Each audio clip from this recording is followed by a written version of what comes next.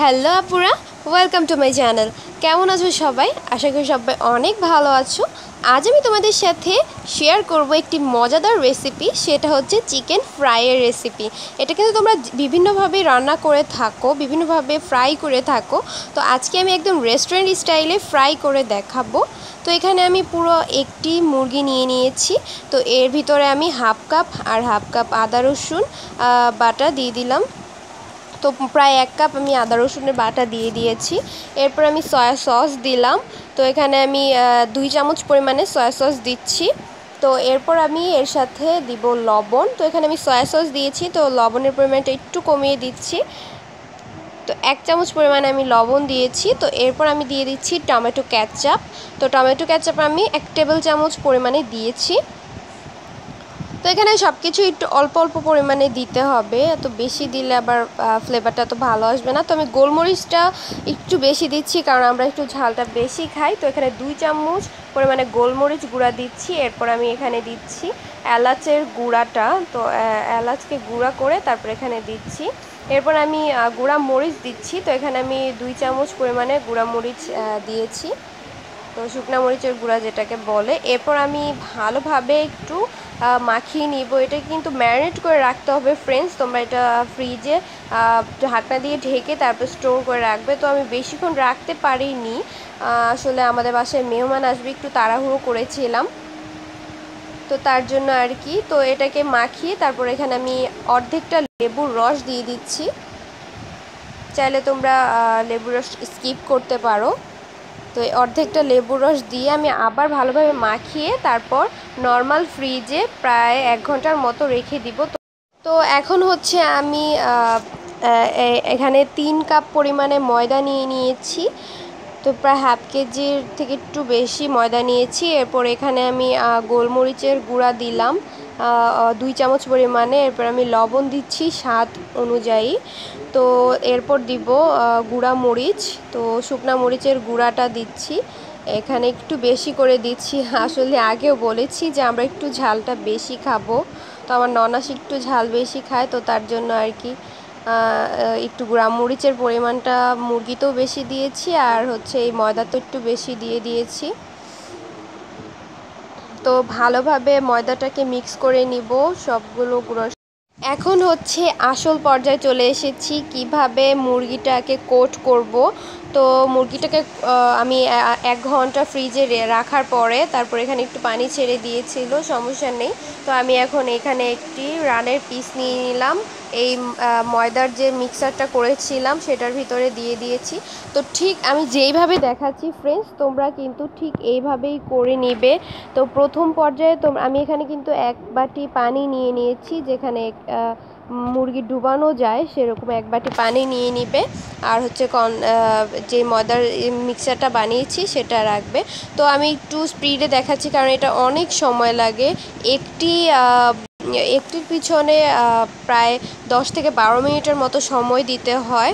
তো আমি তোমাদেরকে একটি করে দেখাচ্ছি। আসলে আমি দুই তিনটা একসাথেই করে ফেলি, কারণ এত সময় কোথায় পাবো? তো এর থেকে একটা করার থেকে দুই তিনটা একসাথে করাই বেটার আমি তোমাদেরকে অবশ্য দেখাবো কীভাবে আমি দুইটা একসাথে করি।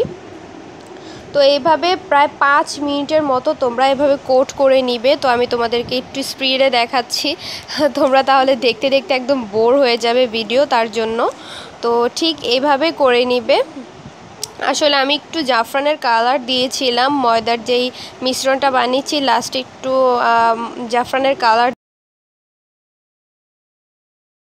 তোমরা জাফরানের কালারটা দেওয়ার দরকার নেই, কারণ ভাজার সময় আসলে আমি এর আগে যখন ফ্রাইটা করেছিলাম চিকেন ফ্রাই, তখন জাফরানের কালারটা দেইনি। তখন চিকেন ফ্রাই রেস্টুরেন্টে ভাজলে যেই রকম কালারটা হয়, একটু লালচে লালচে ব্রাউনিশ কালার সেটা হয়। কারণ আমি জাফরানটা, জাফরানের কালারটা দেওয়াতে আমার ফ্রাইয়ের কালারটা একটু কালচে কালচে হয়ে গিয়েছিল। তো তোমরা জাফরানের কালারটা দিও না। আমি দেওয়াতে আমার চিকেন ফ্রাইটার কালারটা একটু নষ্ট হয়ে গিয়েছিল বাট সমস্যা নেই। খাবারের টেস্টটা কিন্তু ঠিক রেস্টুরেন্ট স্টাইলেই হয়েছে।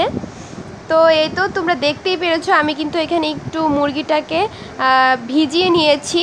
তো আমি যেইভাবে দেখাচ্ছি বন্ধুরা, তোমরা ঠিক সেইভাবেই করে নিবে, তাহলে কিন্তু একদম পারফেক্ট রেস্টুরেন্ট স্টাইলেই তোমরা চিকেন ফ্রাইটা করে নিতে পারো। রেস্টুরেন্টের থেকে আরও ক্রিস্পি করতে চাইলে তোমরা আরও সময় ধরে এটাকে এভাবে কোট করে নিতে পারো।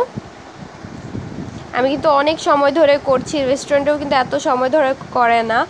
রেস্টুরেন্টে ঠিক যেইভাবে মুরগিটা কোট করে, আমি তার থেকে একটু বেশি করে নিয়েছি। এর ফলে আমার চিকেনটা একটু বেশি ক্রিসপি হয়েছে তাদের তুলনায়। তো এই দেখো ফ্রেন্ডস আমার ফাইনাল লুকটা চলে আসছে। তো আমি দুইবার করে এটাকে ভিজিয়েছি, তো তার জন্য আমি আরও একবার করেছি। তো এখন যে পর্যায়ে আছে, সেভাবে কিন্তু ভেজে নিলে কিন্তু রেস্টুরেন্ট স্টাইলে চলে আসবে। তো আমি আরেকটু করেছি যাতে করে একটু ক্রিস্পিটা বেশি হয়, আর চিকেনটা খেতেও আর একটু টেস্টি হয়। তো আমি এখানে দুইবার করে ভিজিয়ে নিয়েছি চিকেনটাকে। তোমরা চাইলে এক, একবারও ভিজিয়ে এভাবে ভেজে নিতে পারো। যদি হাতে সময় কম থাকে তাহলে আমি একটু স্পিডে তোমাদেরকে দেখাচ্ছি। তো আমার এই পিসটার পিছনে সময় লেগেছে ১৩ মিনিটের মতো। তো তোমরা চাইলে একবার ভিজিয়ে তারপর এভাবে কোট করে নিতে পারো। তো দেখো ফ্রেন্ডস তোমরা আসলে বোরিং হয়ে যাচ্ছে অবশ্যই এটা দেখতে দেখতে। আসলে কিচ্ছু করার নেই। এইরকম একটা মজাদার ক্রিসপি চিকেন ফ্রাই খেতে চাইলে একটু কষ্ট তো করতেই হবে। দেখো, আমার মুরগির ফাইনাল লুকটা চলে এসেছে। ঠিক এইরকম হয়েছে। আমি কিন্তু অনেকক্ষণ ধরে করেছি, এর জন্যই আমার কষ্টটা সফল হয়েছে। এই দেখো, আমি এর আগেও কতগুলো করে রেখেছি তোমাদেরকে দেখানোর জন্য। এই যে এগুলো কিন্তু অনেক সুন্দর হয়েছে, আর এগুলো খেতেও কিন্তু অনেক ক্রিস্পি হয়েছে। এই দেখো বন্ধুরা, খুব সুন্দর হয়েছে। এবার আমি তোমাদের একটু বেশি পরিমাণে করে দেখাবো। আসলে এতগুলা কিন্তু অনেক সময় লেগে যায়। তো তোমরা চাইলে দুইটা, তিনটা এরকম অনেক বেশি করেও করে নিতে পারবে। সেখানে ময়দার পরিমাণটা একটু বাড়িয়ে দিবে। যখন এগুলো করতে করতে দেখবে ময়দাটা একটু সুজির মতো হয়ে আসছে, তখন কিন্তু ওগুলো ফেলে দিতে হবে।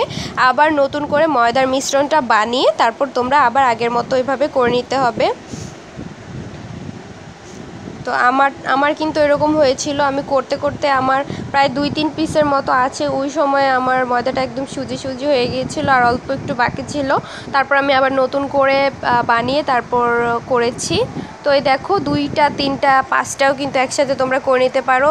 এর জন্য একটু বড় বড় ট্রে বা বলের ভিতরে করে নিবে আর ময়দার পরিমাণটাও একটু বাড়িয়ে নিতে হবে। তো এখানে আমি ভাজাটা তোমাদেরকে দেখাবো। তো একদম আমি এগুলো বানাতে বানাতে সন্ধ্যা হয়ে গিয়েছিল। তো আর তোমরা দেখতে পেরেছ, আমি এখানে ডুবো তেলে ভাজছি। এখানে ফ্রাই প্যানে আমি প্রায় ডুবো তেল দিয়েছি। এরপর একটি ছোট স্টিক দিয়ে দেখেছি যে পুড়ে যাবে কিনা। এই এই ফ্রাইটা কিন্তু একদম অল্প আছে ভাজতে হবে বন্ধুরা। তোমরা কিন্তু একদম অল্প আছে মিডিয়াম আছে এই চিকেন ফ্রাইটাকে ভেজে নিবে। তো এই দেখো, আমি এখানে দিয়ে দিয়েছি। তো এটাকে আস্তে আস্তে ভাজতে হবে। যদি চুলার আঁচটা বাড়িয়ে দাও, তাহলে কিন্তু এটা পুড়ে যাবে আর ভিতরে কিন্তু কাঁচাই থেকে যাবে। তো আমার ভাজতে ভাজতে একদম সন্ধ্যা হয়ে গিয়েছে। পাশের চুলায় পায়েস রান্না করেছিলাম। তো পায়েসটাও রান্না হয়ে গেছে আমার চিকেন ফ্রাই করতে করতে। তো এই তো অনেক সময় ধরে কিন্তু ভাজতে হবে, চুলার আঁচটা একদম কমিয়ে রাখতে হবে। আমি জাফরানের কালার দিয়েছি, তার জন্য আর কি আমার চিকেন ফ্রাইয়ের কালারটা একটু অন্যরকম এসেছে। তোমরা কিন্তু জাফরানের কালারটা দিও না। তো বন্ধুরা, কেমন লেগেছে আজকের আমার রেসিপিটি রেসিপিটি ভালো লাগলে কিন্তু অবশ্যই তোমরা বাসায় ট্রাই করে আমাকে কমেন্ট বক্সে জানাবে। আর হ্যাঁ বন্ধুরা প্লিজ আমার চ্যানেলটি সাবস্ক্রাইব করে রাখবে। আর সাবস্ক্রাইব করে পাশের ছোট্ট বেল আইকনটি ক্লিক করে নোটিফিকেশন অন করে রাখবে। আর তোমার ফ্রেন্ডস অ্যান্ড ফ্যামিলির সাথে আমার ভিডিওটি শেয়ার করবে। আর খেয়ে কিন্তু অবশ্যই বলবে কেমন হয়েছে। তোমরা সবাই সুস্থ থাকবে, সুন্দর থাকবে, ভালো থাকবে, আমার জন্য দোয়া করবে। আল্লাহ হাফেজ।